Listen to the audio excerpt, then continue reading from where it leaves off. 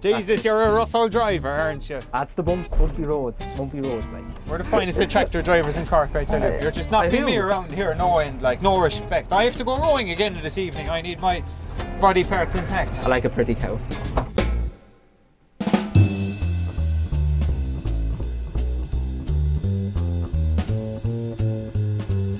Hello, my name's John Halton. I'm a dairy farmer, agri-tech talker, and this is Athletes and Tractors getting milk.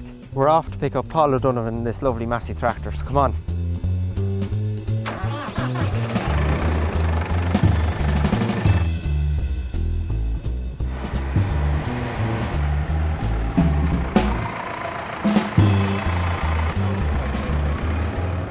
All right, thanks for picking me up there, John. It was a tough training session. It was Aye, the hardest of training sessions. You're busy yourself. Oh, flat out. What time would you make a start to your day at? Oh, we'd probably start good cup of tea there, kind of half five, quarter to six. What about yourself?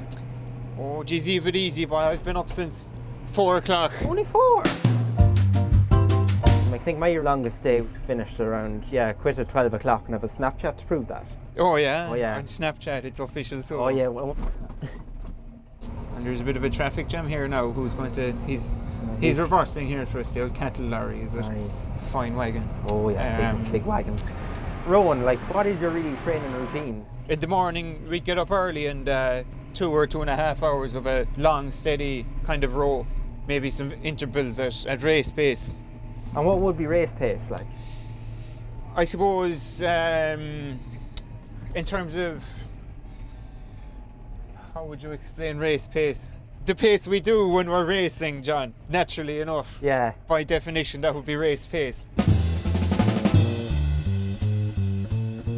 Three days a week, then we do a bit of weightlifting in the gym. so it's never skip leg day. Never skip leg No, day. no, Yeah, no. that's the the legs are the most important actually in rowing. A lot of people don't realise it. They think it's all arms and upper body, but I'd have fairly weak arms now. I don't think I'd be Aye, much good at uh, piking hay or something. You know. aye, yeah, throwing But, uh, tires. So Paul, I believe you grew up on a dairy farm.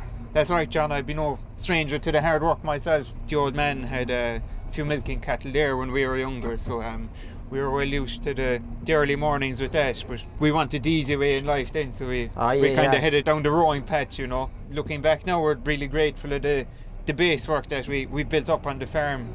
Throwing bales of hay around the place gave us some great strength and endurance. And, I give uh, you a great basin, like. it would, Yeah, yeah, yeah. It really sets you up then. So I think if we hadn't had that as young lads, I don't think we'd have stuck out the rowing. Then it might have been a bit too much for us. You would have took an easier lifestyle, you think? Yeah, even easier again. Easier again, like, yeah, yeah. Spending so many years working on a farm now and making your life out of it, are you still as passionate as you are back oh in yes, those days? very passionate. I, I love my cows. I love my machinery.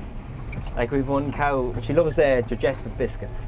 Oh yeah, You'd be in the parlour with a cup of tea there, and you'd be milking away, and she's always the first cow there in a row, and she's very her, keen. her head is up, yeah, Uh, especially when you tail wagging. oh tail wagging, and she just loves the digestive biscuit, and you just give her a half one there. I was gonna say, There's she going to beeping again. I told you drive it properly. sake, I am the If it showed us the same love and affection as your cow, I will it wouldn't be beeping on you. Good girl, this. Good girl. I Oh, need to so- the biscuit. Aye, the cows are coming across there now. Farmer Snapchat. Like even watching that one, that white one, I was a bit hesitant. I was just know what she's thinking. Yeah. How far do you think they can plan ahead? Cows are people.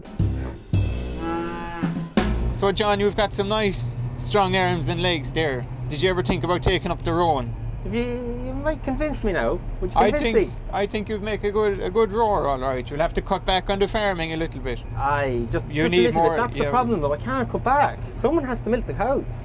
I could I could milk some of the cows for you. Sure Bit you- of teamwork, like teamwork. You know, that's what it's all about. Teamwork makes dream work. You know what? Find a job that you love and you won't have to work a day in your life. This is true. This is true. See, like and you think you think you found your calling in life? Oh, I have found my calling in life. I found it when I was very young. The, the big cow in the corner of the field was mooing my name. Moo John, come here. Well, I tell you, Paul, I'm getting hungry here. Do you want a picnic? I'd love a picnic, John. Mm. Mm, lovely. I've prepared lovely sandwiches for you, Paul, here. You have indeed, John. They look they look delicious. You must have been hard at work all morning preparing these. I, it was hard work and dedication, Mm. Paul. Now, speaking about diets, like what would your diet be like when you're rowing? Well, this is great. We need a lot of protein when we're training because we're breaking down our muscles. We have to rebuild them. Great cheese sandwich now like this is it gives us some good quality protein, which is um, essential really for what we're doing. So, Paul, I see a big rain cloud coming over there. I better get you back to training. I think you're right, John. The evening is pushing on, so if we don't get a move on now, I think I'll be late, and the coach won't like that. Listen, thanks very much, Paul, for Thanks for having me, John. No problem It's been at a all. pleasure. Hey, farmers have it easy, so you do. how you think. Live a soft life. yeah, yeah, yeah.